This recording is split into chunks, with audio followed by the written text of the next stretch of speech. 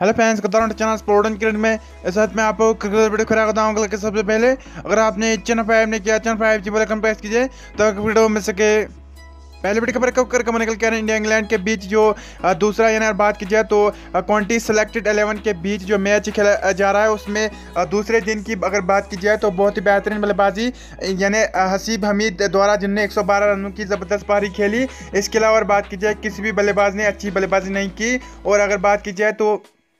Indian गेंदबाजों ने थोड़ी बहुत अच्छी गेंदबाजी की, जिनमें सबसे ज़बरदस्त गेंदबाजी उमेश यादव ने की, जिन्होंने 22 रन देकर तीन विकेट लिए। इसके अलावा बात की जाए तो मोहम्मद सिराज ने भी दो विकेट लिए और बाकी गेंदबाजों ने एक एक विकेट लिया। लेकिन सबसे बेहतरीन बल्लेबाजी उमेश यादव माफ़ कीजिएगा, सबसे बेहतरीन गेंदबाजी उमेश यादव ने तीन विकेट लेकर की। इसके अलावा बात की जाए तो हसीब हमीद ने भी एक सौ बारह रनों की पारी खेली और दूसरे दिन का खेल ख़त्म होने पर ज़बरदस्त बल्लेबाजी हसीब हमीद ने की इस वक्त की बड़ी खबर निकल के आ रही है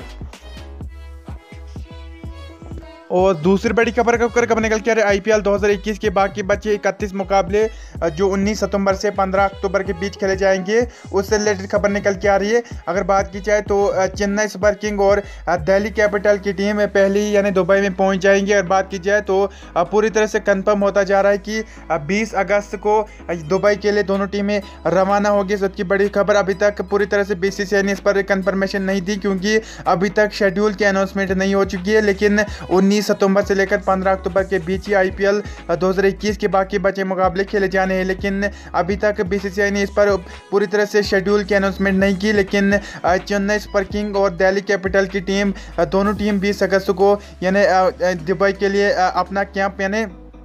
दुबई में अपना कैंप स्टार्ट करेंगे और ये इन दोनों टीमों के लिए अच्छी खबर क्योंकि एक महीना उसके बाद भी बचेगा और बाकी टीमों के लिए अभी तक पूरी तरह से कंफर्मेशन नहीं कि वो कब जाएँगे, लेकिन अगर ये 20 अगस्त से जाती हैं, यानी ये दोनों टीमें तो इनको लगभग, यानी उससे 20 दिन पहले, यानी कम अज़ कम एक अगस्त से अपनी, अपना जो कैंप है वो इंडिया में ही, यानी कैंप लगाना होगा, उसके बाद ये टीमें बीस अगस्त को जा सकती हैं, सबकी बड़ी खबर निकल के आ रही है।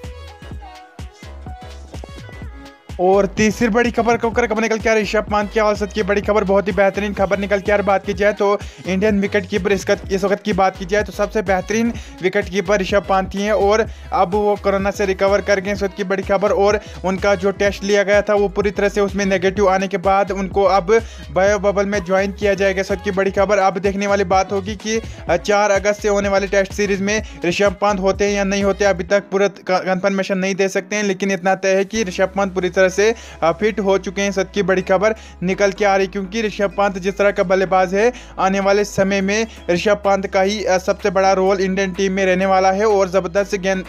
विकेट कीपिंग के साथ ज़बरदस्त बल्लेबाजी भी ऋषभ पंत नंबर छः की बल्लेबाजी पर करेंगे। इसके अलावा बात की जाए तो ऋषभ पंत पूरी तरह से कोरोना से रिकवर कर गए सच की बड़ी खबर निकल के आ रही है। और ज़्यादा जानकारी के लिए चैनल फाइव से बेल आइकन प्रेस कीजिए, ताकि वीडियो मिल सके थैंक यू